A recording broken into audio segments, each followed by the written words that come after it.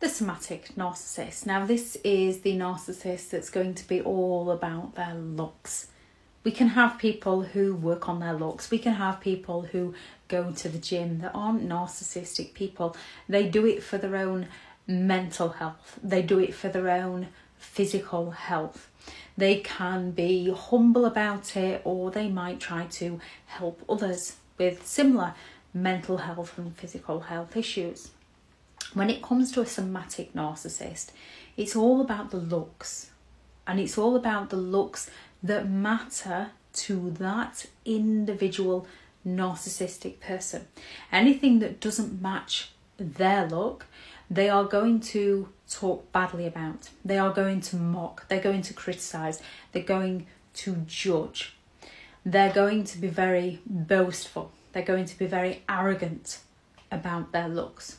Again, whatever it is to that individual, the look that that narcissist is looking for.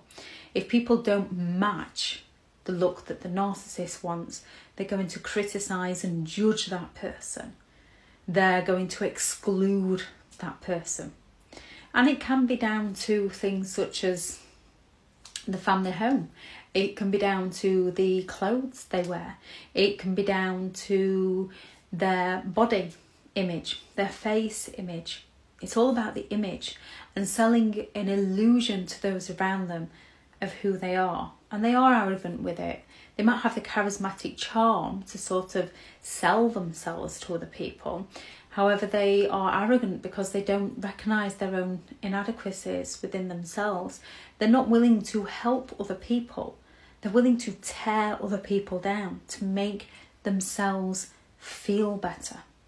When it comes to a somatic narcissist, they are going to make you feel worthless so that they can feel superior to you. They're going to go all out to diminish who you are as a person so they can feel better about who they are as a person.